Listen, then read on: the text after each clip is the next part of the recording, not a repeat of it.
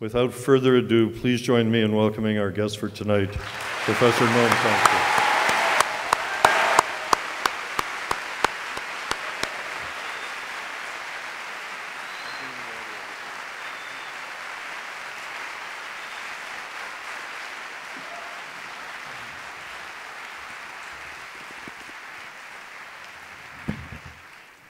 Uh, Thanks very much.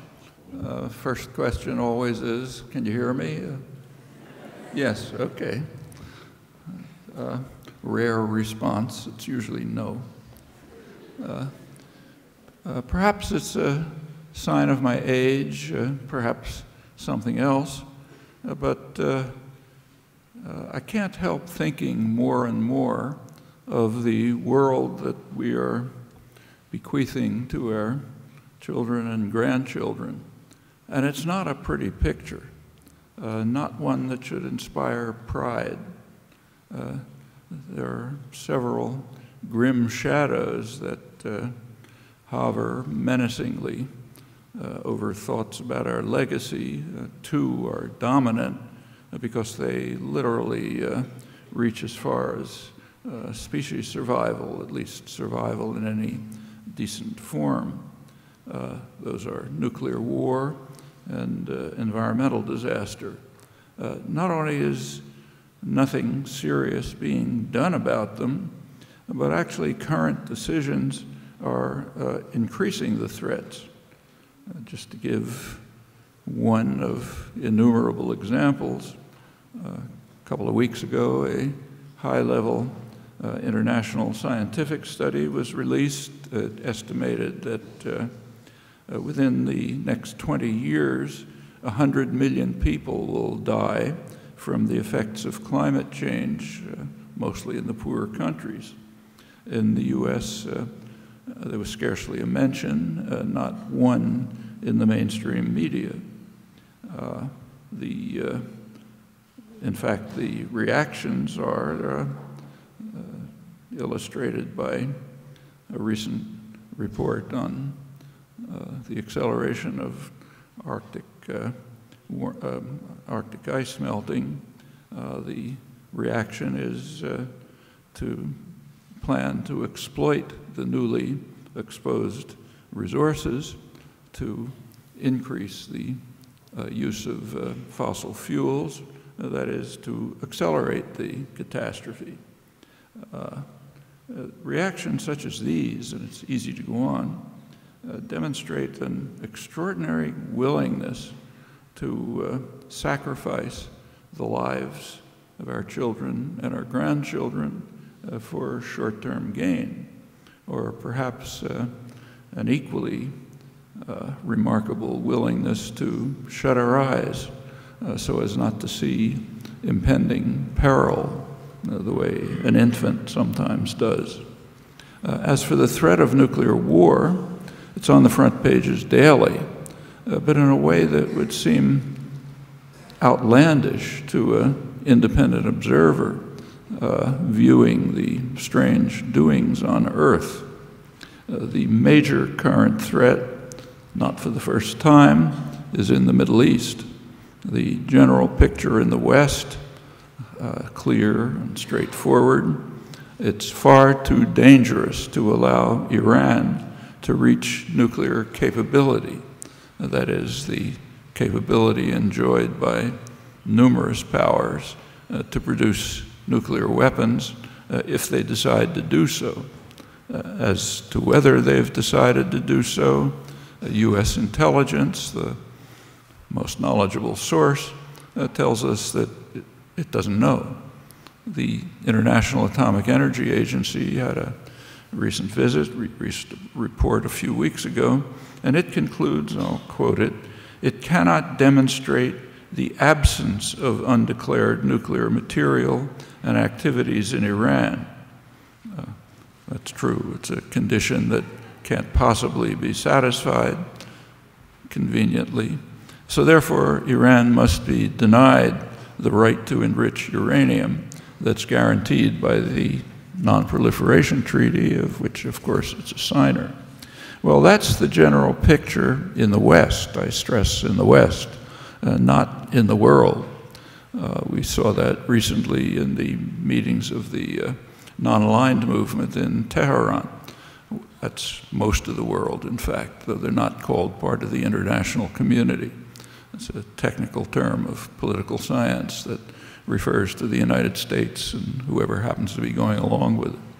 The, uh, uh, the non-aligned movement, uh, once again, as before, they vigorously reaffirmed Iran's right to enrich uranium as a member of the NPT uh, and uh, condemned the sanctions and so on.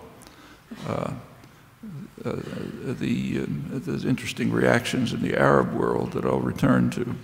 Uh, the basic concern, the, the basic reason for concern has been stated succinctly by General Lee Butler. He's the former head of the U.S. Strategic Command, the military institution that's responsible for nuclear weapons, uh, nuclear weapons planning, and so on. Uh, he writes that it is dangerous in the extreme that in the cauldron of animosities that we call the Middle East, one nation should arm itself with nuclear weapons, which may inspire other nations to do so. Uh, General Butler, however, is not referring to Iran, uh, but as you may have guessed, he's referring to Israel. Uh, that's the country that uh, ranks highest in European polls as the most dangerous country in the world, right above Iran. The Arab world is different. There, also, Israel ranks highest as the most dangerous country, and the United States is right behind it as the second most dangerous. Uh, Iran, according to Western polls, is generally disliked, but not considered much of a threat uh, among the populations, that is, and not the dictatorships. The Western media and commentary keep almost entirely to the views of the dictators, and so we hear regularly that uh, the Arabs want decisive action against Iran. Uh, the populations don't, but it's only the dictators who count according to Western conceptions of democracy. Actually, that reflects the uh, one of many examples reflecting the deep contempt uh, for democracy and fear of democracy in elite Western opinion. It's a matter highly relevant to the Arab Spring. I'll return to that. Well, unlike Iran, uh, Israel refuses to allow inspections or to join the Non-Proliferation Treaty, has hundreds of nuclear weapons, advanced delivery systems, also a long record of violence and repression, which uh, I presume it's unnecessary to review. Uh, meanwhile, um, severe threats of attack con continue from the United States and particularly Israel. Uh, uh maybe some of you have uh, antiquarian interests, uh, if there are any, you may remember a document called the United Nations Charter, which is theoretically the foundation of modern international law. Uh, it has an explicit provision banning the threat or use of force in international affairs. Uh, every time a U.S. president uh, opens his mouth on this topic or someone writes an article, they're violating the UN Charter, if anybody cares. Uh, uh, there happen to be two rogue states which disregard international law and are powerful enough to get away with it. The United States, of course, and Israel, as long as it's protected by the United States or anyone else who's protected by the world superpower. Actually, the European Union goes along with this. Well, the threats are not just words. Uh, there is an ongoing war. Uh, includes assassinations, what we'd call international terrorism if anyone else was doing it, uh, economic warfare, which uh, uh, is a form of war. U.S. Uh, threats have cut Iran out of the international financial system. other countries are afraid to stand up to the dangerous bully who runs things. Uh, five former NATO commanders uh, recently released a new grand strategy, which they called it, uh, which identified weapons of finance uh, as acts of war that justify military response when directed against us, that is. Uh, cutting Iran out of global financial markets uh, is a different matter. Uh, the U.S. is openly engaged, in fact, uh, with much uh, self-praise in cyber war, large-scale cyber war against Iran. Uh, the U.S. Pentagon identifies cyber war as a form of military aggression which justifies a military response, uh, but again, against us. Uh, uh, Israel's lethal armory includes advanced submarines, just provided by Germany, new ones in recent months, uh, which are capable of carrying Iran, uh, Israel's uh, nuclear-tipped missiles. these are sure to be deployed in the Gulf or nearby, may already be, uh, if Israel proceeds with its uh, threats to bomb Iran, or more likely to try to set up conditions in which the United States will do so. And the United States, of course, has a vast array of nuclear weapons throughout the region as throughout the world. Uh, for the region, it ranges from uh, uh, the Indian Ocean uh, to the Mediterranean, including enough firepower in the Gulf to destroy most of the world. Uh, another story in the news right now is uh, the Israeli bombing of uh, the Osirak reactor in uh, Iraq in 1981. That's now presented as a model for um, Israeli bombing of Iran. It's rarely mentioned that the bombing of the Osirak reactor did not end Iraq's nuclear weapons program. It initiated it. That reactor was not capable of producing nuclear materials. Uh, but as soon as uh, it was bombed, uh, Saddam Hussein uh, initiated a program of uh, nuclear weapons development, which got pretty far. Uh, I might add that the United States helped with that. in 1989, after the Iran-Iraq war was over, the first President Bush, the good one, uh, and, and uh, uh, invited Iraqi nuclear engineers to the United States for advanced training in nuclear weapons production. Well, that's not mentioned either. Uh,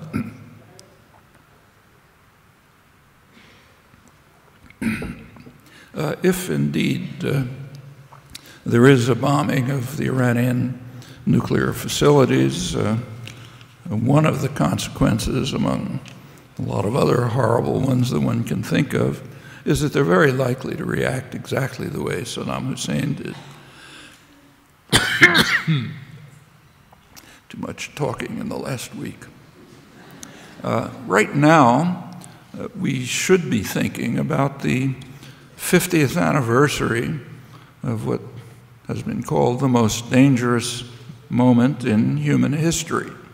Those are the words of uh, historian and Kennedy advisor Arthur Schlesinger. He's referring to the uh, October 1962 uh, Cuban Missile Crisis, uh, the most, the specific day that was the most dangerous moment happened to be October 27th. We're coming close to the exact 50th anniversary. at that point, uh, Kennedy had raised the nuclear alert to the most, to the highest level, short of actual launch. launch. Uh, he had authorized uh, NATO aircraft, uh, mostly US, but others too, Turkish pilots and so on. Uh, they were authorized to fly to Moscow uh, and bomb, uh, setting off a likely nuclear conflagration.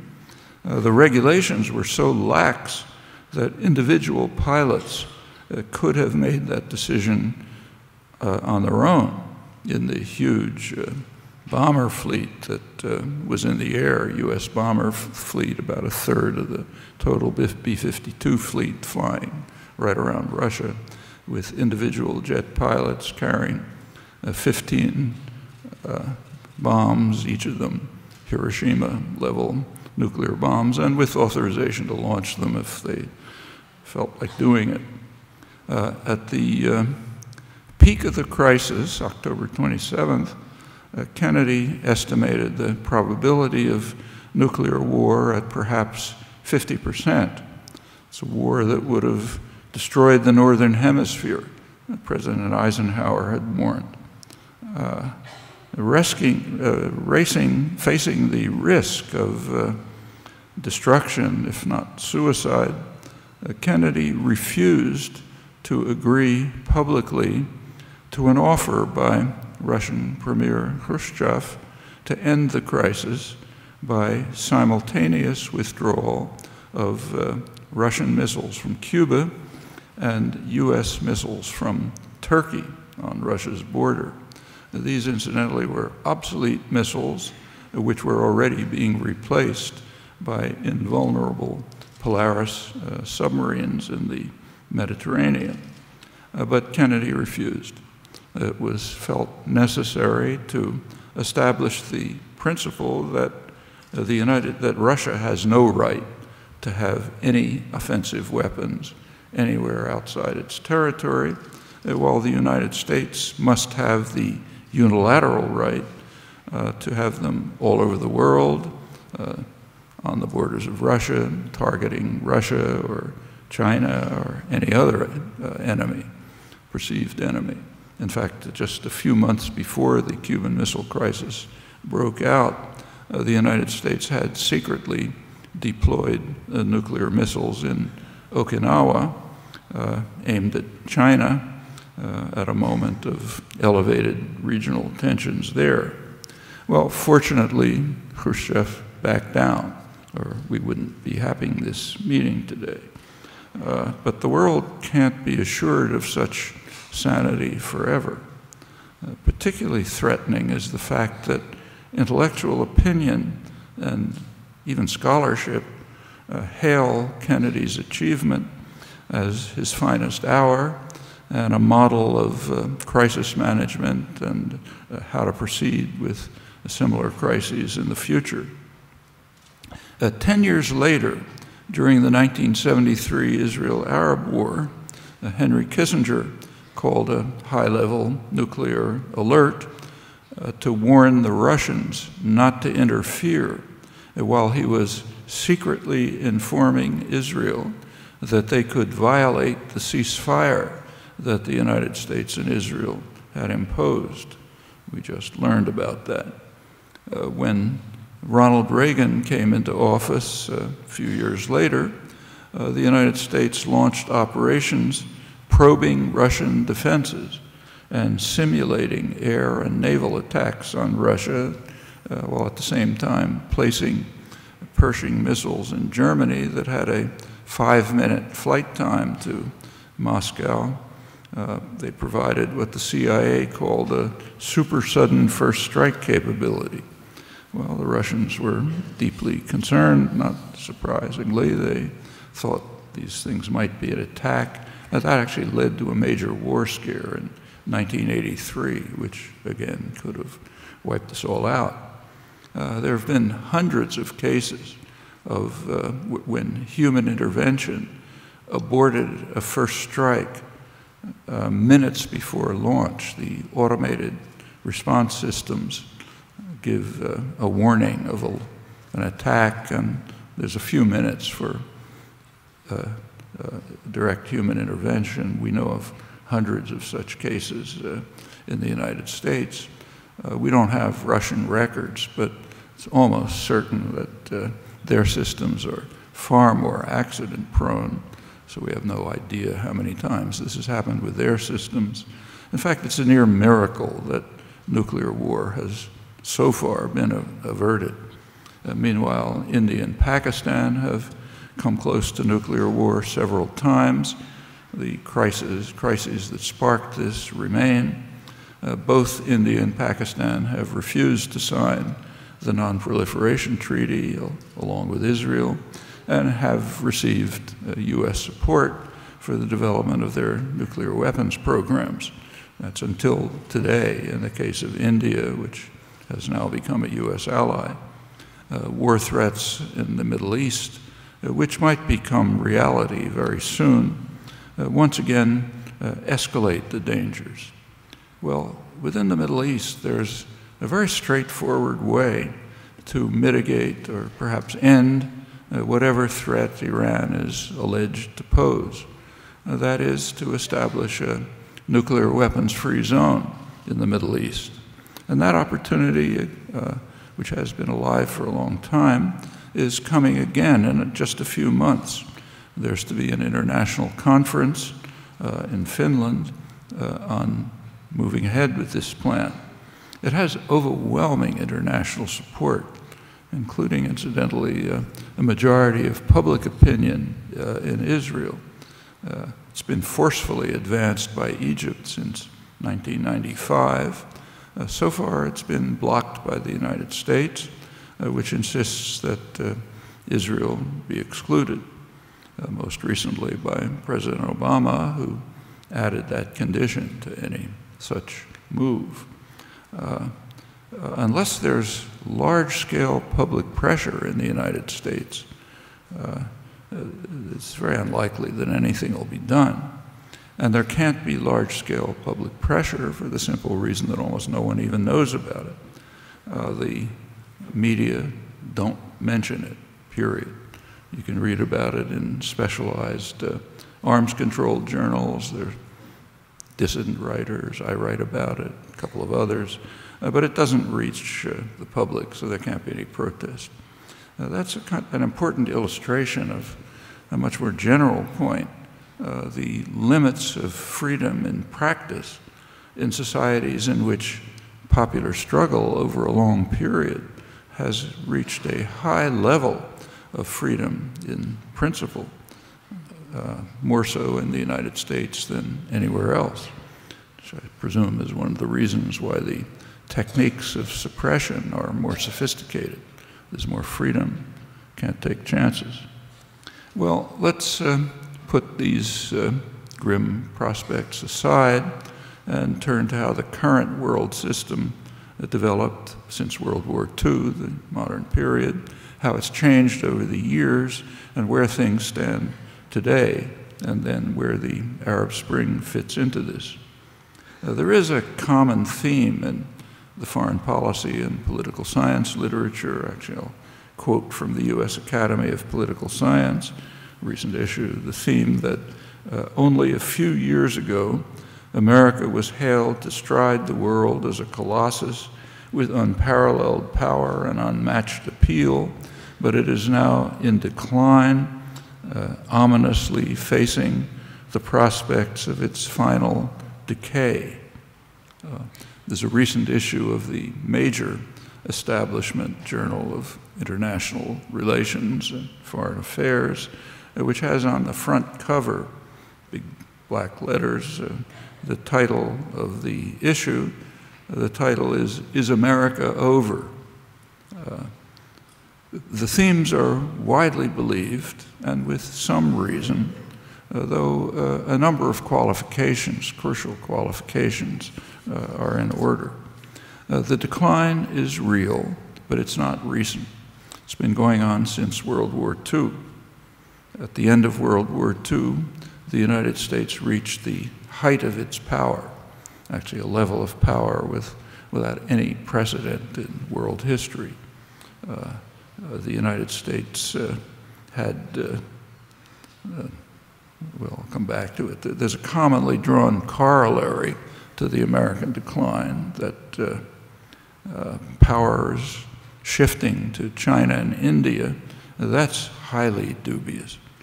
Uh, the, these are poor countries, severe internal problems. Uh, the world is certainly becoming more diverse, but despite America's decline, uh, it, which is real, in the, in the foreseeable future, there's no competitor for global hegemonic power. It'll stay that way for quite some time to come. Uh, just to keep to one dimension alone and not the only one military power Uh, US, uh, the U.S. military spending is approximately equal to the rest of the world combined. Uh, technologically, the U.S. military is far more advanced. Uh, the United States is alone in saturating the world with military bases, maybe a thousand of them. Uh, another indication is the recently announced uh, figures on global arms sales. Uh, the U.S. holds more than three quarters of the global market. Uh, sales are more than 10 times as high as the second place country, Russia, and military dimension is only one of many. Well, going back to the beginning of the contemporary era, peak of U.S. power, uh, during World War II, the, the, the, war itself uh, greatly strengthened the United States uh, economically and militarily. Uh, the government stimulus ended the Depression, industrial production quadrupled practically. Other industrial powers were severely damaged or destroyed uh, even before of the war. In fact, 50 years before, the United States had been by far the richest power in the world, but not a major player in world affairs. Uh, it was understood by Washington planners, uh, President Roosevelt's planners, during the war, that the United States would emerge in a position of overwhelming power. Uh, it's quite clear from the documentary record that, uh, quote, President Roosevelt was aiming at United States hegemony in the post-war world. That's the accurate conclusion of uh, leading British diplomatic historian Geoffrey Warner, one of the leading specialists on this topic. And plans were developed to control uh, most of the world, to control what was called a grand area. The grand area would include, as a minimum, Western Hemisphere, it's taken for granted, uh, all of the Far East, the former British Empire, uh, which of course includes the crucial Middle East oil reserves, uh, and also as much of Eurasia as possible. Uh, of course, crucially, its most advanced uh, industrial commercial regions in Western Europe.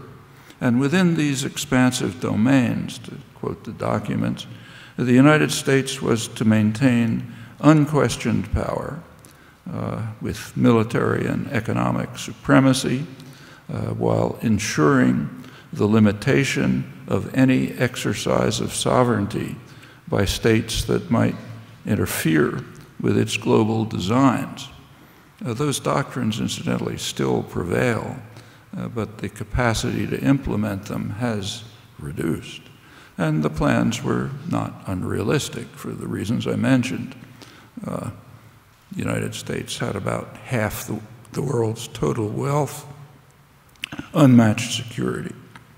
Uh, the ensuing Cold War uh, consisted overwhelmingly of efforts by the two superpowers to enforce order in their own domains.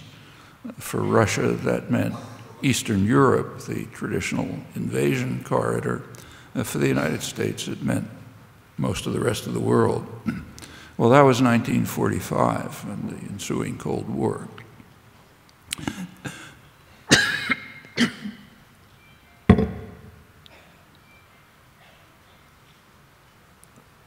Uh, very quickly, the grand area began to erode. The first blow, and a very serious one, was in 1949. Uh, that's called the loss of China. China became independent, pulled out of the grand area.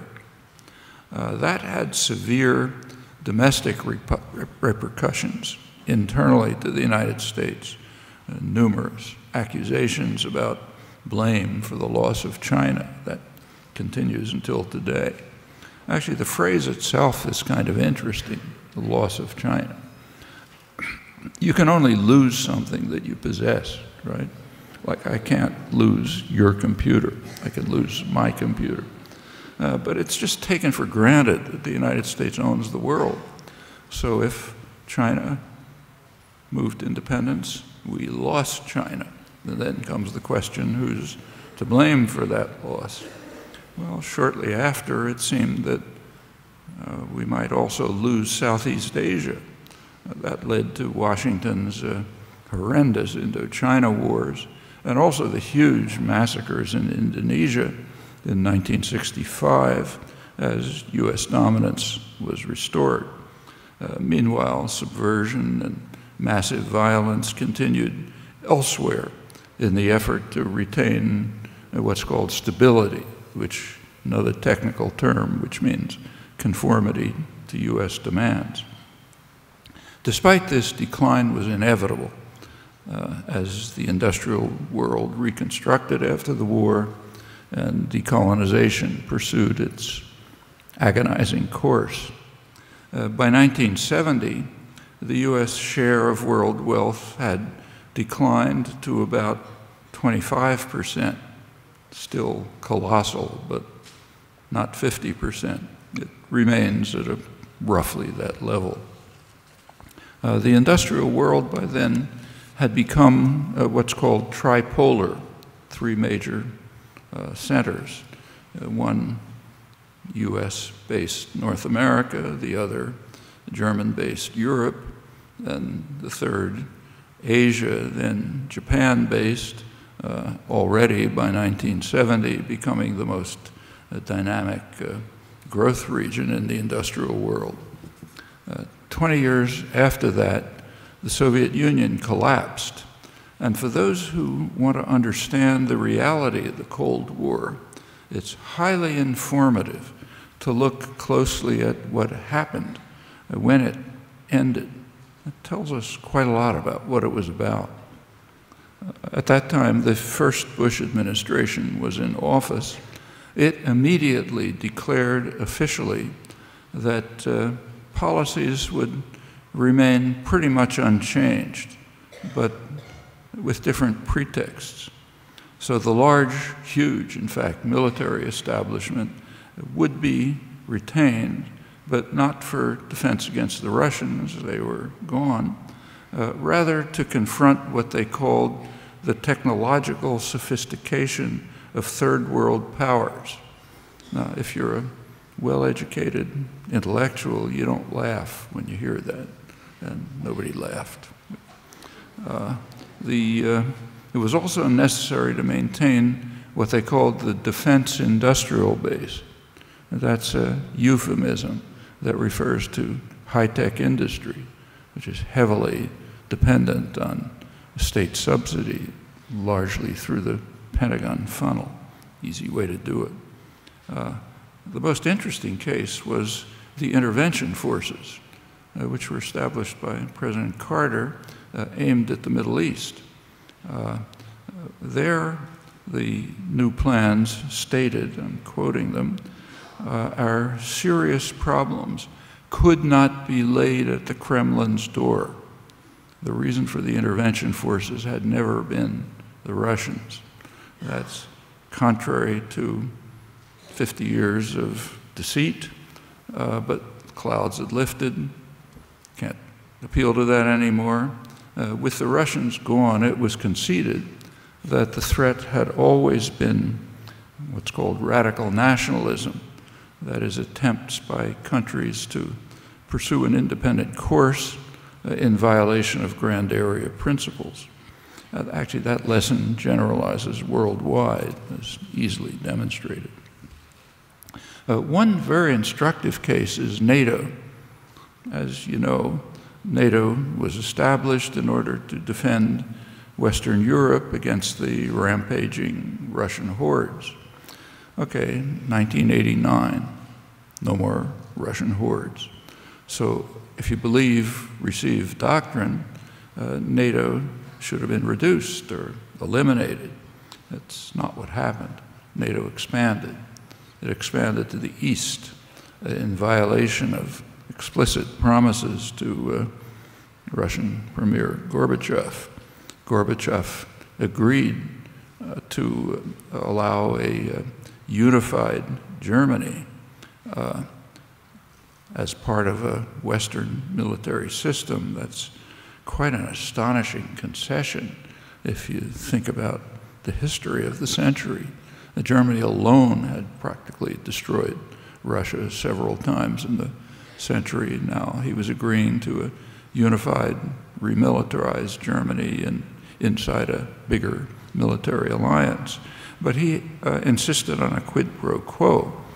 Uh, he insisted on a guarantee that NATO would not expand to the east. He was particularly concerned with East Germany. Nobody dreamed of an expansion beyond. Uh, and he got the promise. The promise was that NATO would not expand one inch to the east. That was the phrase. Immediately, NATO expanded to East Germany.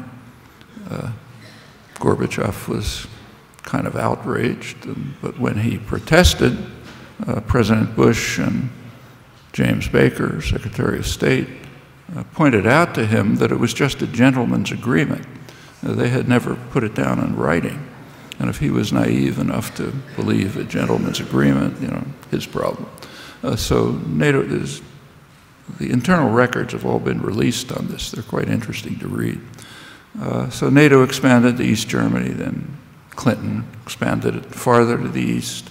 Uh, by now, uh, NATO has become a global intervention force under U.S. command, uh, which has an official mission the official mission is to control uh, the international energy system, I mean, sea lanes and pipelines anywhere, and in fact to do whatever the hegemonic power determines. Well, I'll leave the rest to you, but if you think it through, all of these things tell us quite a lot about the reality of the Cold War. Uh, I presume that's the reason why they're almost totally ignored in scholarship you can check pretty, pretty easily if you like. Uh, but the data, the documents are there, they're very clear and explicit, and I don't think I have to spell out what they mean.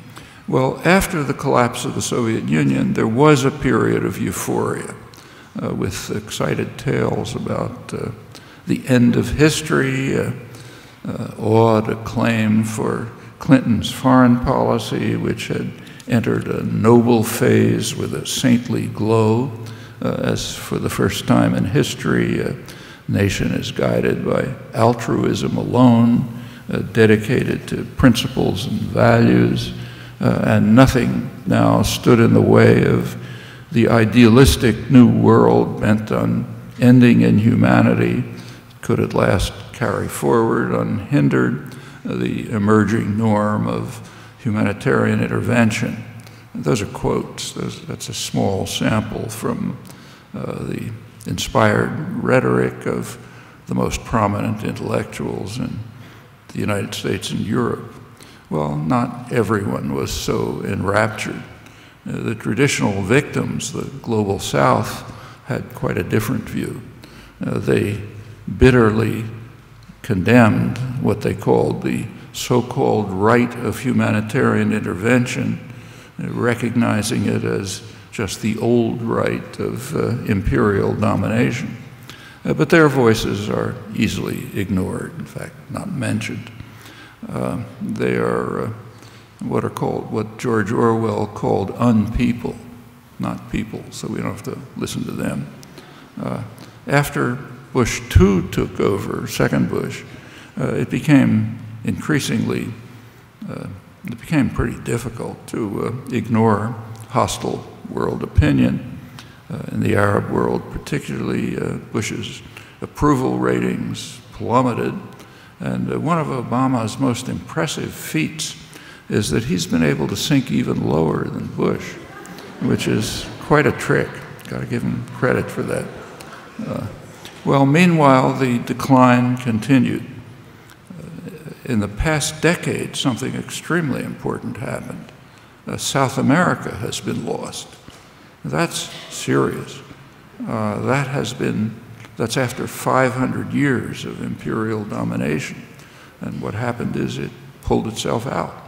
Uh, steps towards integration, towards independence, uh, kicking out all U.S. military bases. Not trivial. That was always considered the safe, secure backyard that we didn't have to worry about. Well, that was serious enough, but far more serious would be moves towards independence in the Middle East. Uh, planners in the 1940s recognized that control of the incomparable energy resources of the Middle East would yield substantial control of the world, words of an influential Roosevelt advisor.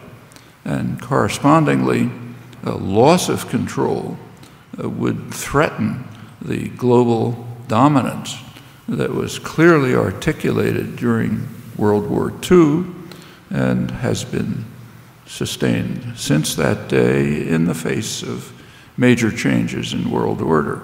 Now, the important word there is control. It's often misunderstood.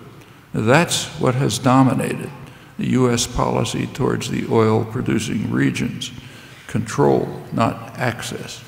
If the U.S. was on 100% solar power, would have the same policies towards the Middle East. In fact, in the 1950s and 60s, it wasn't relying at all on Middle East oil, but uh, had the same policies. Even more striking, in 1958, uh, the US government decided to exhaust domestic supplies uh, instead of using cheap Saudi oil in order to benefit Texas oil producers to enrich them. So the U.S. used domestic resources, leaving big holes in the ground, which are, are now called the strategic reserve, uh, filled from oil overseas. That went on till the Nixon years. Uh, it's not access, it's control that matters. Uh, there's one illustration of that, which is of great contemporary uh, import. It's, it's, revealed in an important recent study just coming out uh, of the 1953 US UK coup that uh, overthrew the parliamentary regime in, in Iran, uh, consequences that reverberate right to the present very obviously. Uh, this study is by a very fine Iran scholar, Ervand Abrahamian, very much worth reading. Uh, he shows very convincingly that standard accounts of the coup just can't be sustained. Uh, the primary causes were not Cold War concerns, contrary to claims. Uh, they weren't Iranian uh, irrationality that undermined Washington's benign intentions. And rather strikingly, the concerns were not access to Iran's oil, uh, rather uh, control over the oil, what the official documents call overall controls. That's what had to be maintained, which has broader implications for global dominance, which is threatened by independent nationalism. That's always been the primary concern, still is.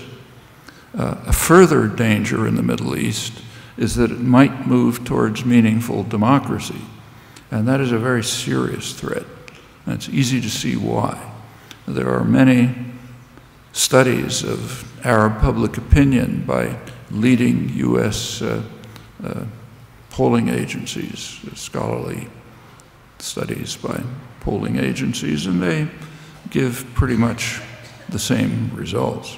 Uh, the United States surely does not want policies in the Arab countries, in Egypt and elsewhere, which will reflect public opinion that is, policies which will perceive uh, Israel and the United States as the major threats, uh, won't perceive Iran as much of a threat, and where considerable numbers, sometimes large majorities, think the region would be more secure if Iran had nuclear weapons to offset U.S. power.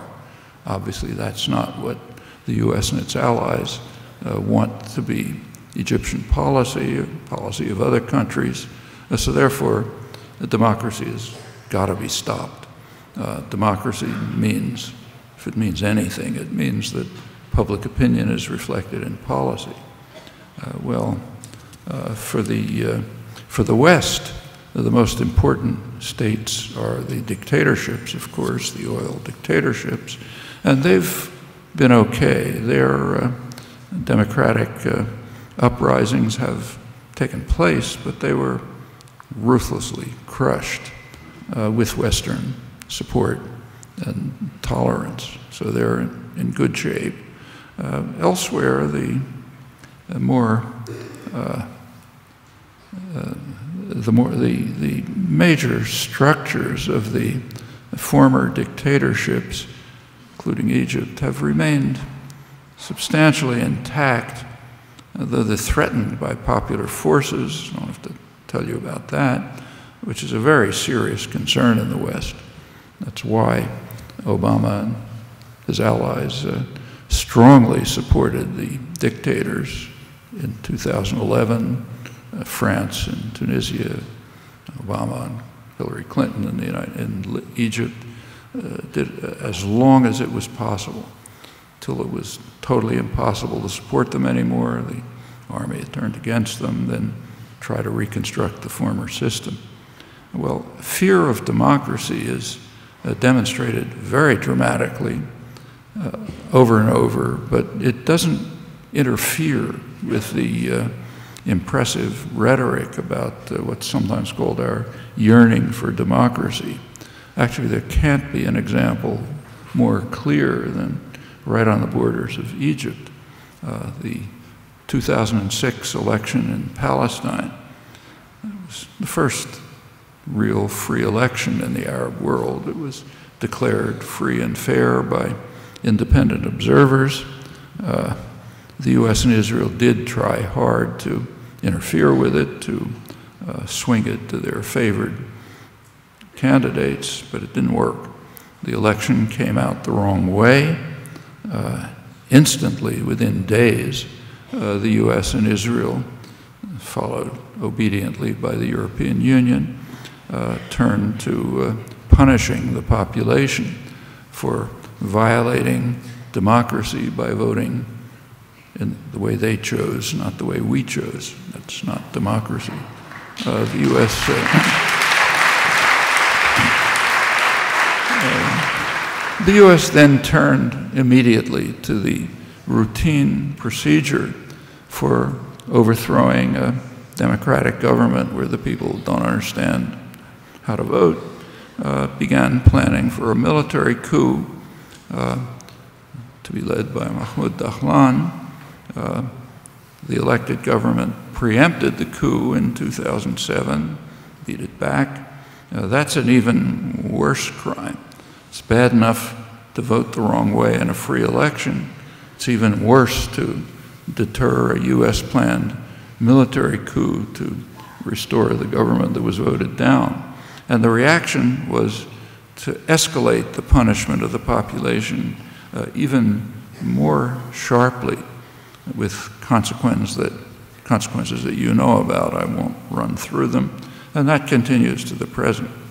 Uh, this demonstrates with remarkable clarity uh, the Western attitudes towards democracy. It's fine when it comes out the way we say, period. It's kind of interesting that this cannot be perceived. It's incidentally by no means the only example. Actually, that conclusion has been demonstrated by the most respected and quite conservative U.S. scholarship. I could give you the details if you're interested. It's found that to the present, the United States supports democracy if and only if it accords with strategic and economic interests. That's not very surprising, uh, nor is it surprising that the very well established conclusions uh, are ignored and uh, don't interfere at all with the favorite doctrinal dogmas about our yearning for democracy and so on. Uh, of course, none of this is unique to the United States. Well, control of the Middle East remains largely intact for the moment Nevertheless, American it, it's threatened. That's up to you. Uh, American decline nevertheless continues in other dimensions. And quite significantly, the decline is in significant part uh, self inflicted. There's a recent study by the Economic Policy Institute in Washington. That's the major source of uh, reliable, regular information and analysis of the economy, a lot of data on the economy. The recent study of theirs is called Failure by Design. It reviews the data on the impact of the neoliberal policies of the past generation which are very familiar to you, They're the same as those elsewhere, including Egypt. That includes uh, a remarkable concentration of wealth, while wages have stagnated or declined. Uh, working hours have increased uh, well beyond Europe, and the weak benefit system has eroded standard features of neoliberal policies, sometimes called structural adjustment. Uh, the authors point out that the failure that they talk about is class-based. Uh, the designers have done wonderfully. They've achieved spectacular success. Again, familiar. And they also stress that it's by design. Alternative policies always were possible, still are. And again, I point out that all of this should be entirely familiar to all of you right here. Uh, corporate power, which is now mostly financial capital, has become so influential in the political system uh, that by now both parties are well to the right of the population on major issues. That's why issues are largely excluded from the presidential campaigns, as you may have noticed if you've been following it. Uh, there are careful studies by mainstream political scientists which make it clear that in the collapsing political system, the very rich generally gain what they want, uh, while the, the, general public, that, that's independent of what the public may prefer. Uh, actually, the most detailed study by political scientist uh, Martin Gilens just appeared. It shows that uh, for about, uh, for about 70% of the population are powerless to shape government policy. That means they're effectively disenfranchised. Uh, and, the and then as you move up the wealth level, you get a little more influence. When you get to the very top, you get what you want. Uh, the mechanisms are pretty clear. Uh, it's, it's important to point out, however, that by comparison with Europe, the United States is somewhat progressive in this respect. The central bank in the United States, the Federal Reserve, it's heavily influenced by its by financial corporations, but it's pretty progressive in comparison with its European counterpart, the uh, European Central Bank, the ECB. The US Fed is committed by law to two policies, two tasks. The first is uh, reducing unemployment, and the second is to keep inflation from exploding. Now, that concern is non existent, uh, but the former one maintaining employment receives at least some attention by the Fed. Uh, in contrast, the ECB uh, uh, has only one commitment, uh, keep inflation down for the benefit of bankers, primarily the Bundesbank. Uh, that provides a very welcome opportunity, which is now being exploited in Europe, to end uh, to dismantle the welfare state, one of Europe's great contributions to modern civilization. And that's understood. That's what we're seeing before our eyes. Uh, the president of the ECB, Mario Draghi, knew exactly what he was talking about when he informed the Wall Street Journal a few months ago that the continent's traditional social contract is obsolete not for any intrinsic reasons, but by design. Well, the self inflicted blows in the United States, as in much of the West, are not a recent phenomenon. They go back to the 1970s, when the political economy uh, underwent major transformations. The process expanded rapidly under Reagan and Thatcher.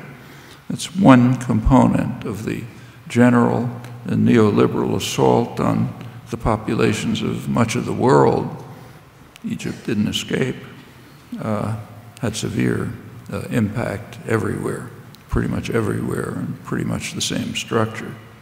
Well, there's no time here to run through the process to different forms and different societies, but with a great many structural similarities. Uh, the outcome is pretty clear, and sometimes it's clearly described.